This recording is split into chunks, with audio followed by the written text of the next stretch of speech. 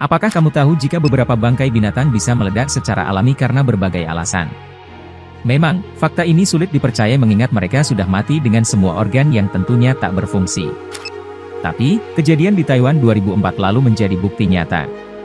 Diduga karena penumpukan gas dalam bangkai paus berbobot 50 ton, ikan raksasa tersebut meledak dan menyemprotkan darah beserta isi perutnya. Selain itu, di beberapa negara seperti Jerman, 1968, dan Denmark, 2005, juga pernah ditemukan hewan yang meledakkan diri setelah menjadi bangkai.